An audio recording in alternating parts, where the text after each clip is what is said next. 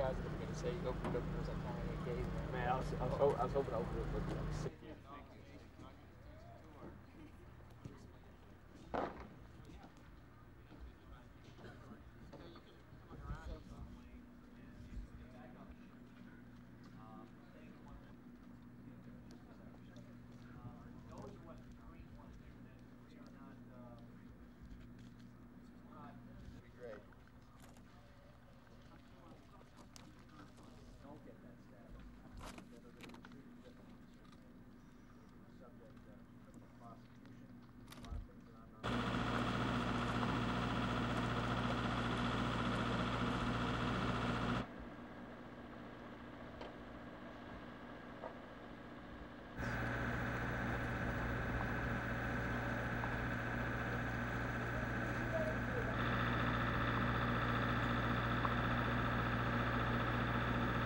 Uh, Our, primary goal is to see if we can gather information to try to prevent future attacks against, against, uh, against Americans.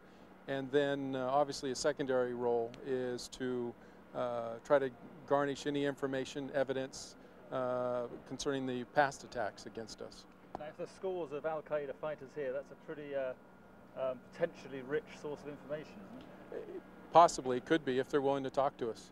You know, there's, um, they, they can be a hard group, and sometimes it's very difficult to get them to talk to you. As far as your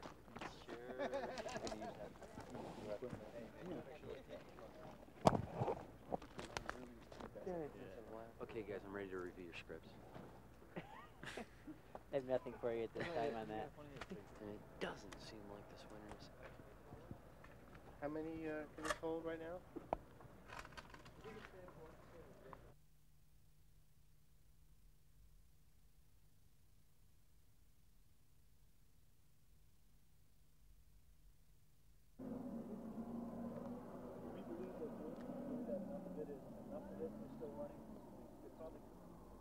be a complete swag. I mean, just to heavy equipment like this with manpower is not cheap.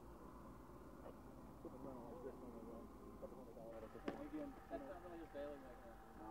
Maybe I could ask, uh, if me and I could move, go on and bail.